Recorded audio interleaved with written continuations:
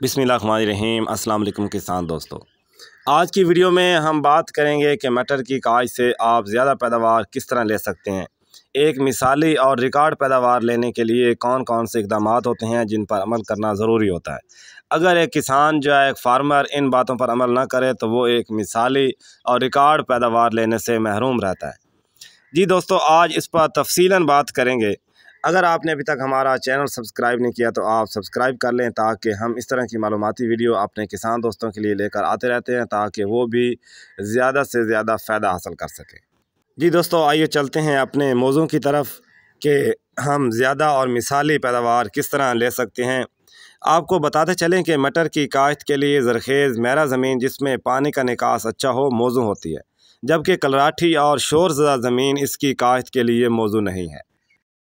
और बिजाई के वक्त आपने ज़मीन को अच्छी तरह नरम और भुरभरा कर लेना है, ताकि, और दाब के ज़रिए जड़ी बूटियाँ भी आपने तलफ़ करनी है, ताकि जो जड़ी बूटियों का उगाव कम हो और ज़मीन नरम और भुरभरी हो, ताकि बीज अच्छी तरह उगे और ज़्यादा पैदावार दे सके।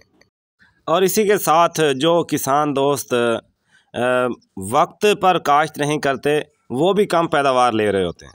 मिसाल के तौर पर अगेती अकसाम से सब्ज़ फलियाँ हासिल करने के लिए काश्त का जो मौजू वक्त है, वो सितंबर का आखिरी या अक्टूबर का पहला हफ़्ता है। लेकिन इसका दारो मदार बहुत हद तक मौसम गर्मा, यानी जुलाई, अगस्त में होने वाली बारिशों की मकदार पर भी मुनसर होता है। अगर दिन के वक्त दर्जा हरारत तीस डिग्री सेंटीग्रेड से ज़्यादा हो तो उगाव मुतासर होता है और फ़सल के नाकाम होने का ख़तरा रहता है। सितंबर के महीने में अगर एक से दो मरतबा बारिश हो जाए तो 20 सितंबर से कायद शुरू की जा सकती है। बारिशें ना होने की सूरत में आप वस्त अक्टूबर तक आप तखीर जो है वो कर सकते हैं। इसी तरह पंजाब के जो शुमाली इलाके हैं, उनमें सितंबर में काश्त के लिए हालात साजगार हो जाते हैं। और अगर आप छेती अकसाम से सब्ज़ फलियाँ हासिल करने के लिए काश्त का बेहतरीन जो वक्त है, वो नवंबर का पहला हफ़्ता है या आप पंद्रह नवंबर तक आसानी से काश्त कर सकते हैं। और अगर बीज बनाने के लिए आप फ़सल काश्त कर रहे हैं मटर की तो उसे आप आखिर अक्टूबर या शुरू नवंबर में काश्त कर सकते हैं। इसके साथ ही दोस्तों, वो लोग भी कम पैदावार ले रहे होते हैं जो अपनी फ़सल में कीमियाई खादों का इस्तेमाल दुरुस्त तरीके से नहीं कर रहे होते।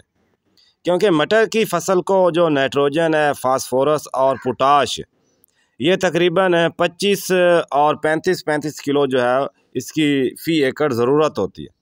जिसके असूल के लिए चार बोरी आप सिंगल सुपर फास्फेट और या एक बोरी अमोनियम नाइट्रेट और एक बोरी पोटाशियम सल्फेट फ़ी एकड़ आप बुआई के वक्त आप ज़रूर इस्तेमाल करें। अगर ये नहीं इस्तेमाल कर सकते तो आप दो बोरी डीएपी और एक बोरी पोटाश की आप बुआई के वक्त ज़रूर इस्तेमाल करें। और फिर फूल आने के वक्त आपने एक बोरी यूरिया जो है वो फ़ी एकड़ के हिसाब से हर बीस दिन के बाद आपने इस्तेमाल करनी। तो अज़ीज़ दोस्तों, आप बाज़ किसान दोस्त जो हैं, वो सारा ख़र्चा उसी तरह करते हैं। बिजाई पर, बीज पर और लेज़र लेवलिंग पर, ठेका पर।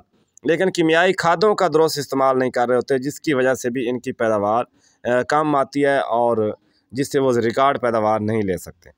इसी के साथ साथ जो दोस्त जड़ी बूटियों का तदारक नहीं करते, जड़ी बूटियों को कंट्रोल नहीं करते, वो भी अपनी पैदावार कम ले रहे होते हैं। क्योंकि मटर की फ़सल में मुख्तलिफ़ जड़ी बूटियाँ, जैसा कि करंड, बाथू अटसट है, या जंगली पालक है, और इसी तरह दुम्बी सिट्टी है, जंगली बालू है, डीला वगैरह जो है, ये उग आता है। और ये जड़ी बूटियाँ फ़सल की खुराक, पानी और रोशनी में हिस्सादार बनने के साथ साथ बीमारियाँ और कीड़े फैलाने में भी मददगार साबित होती हैं।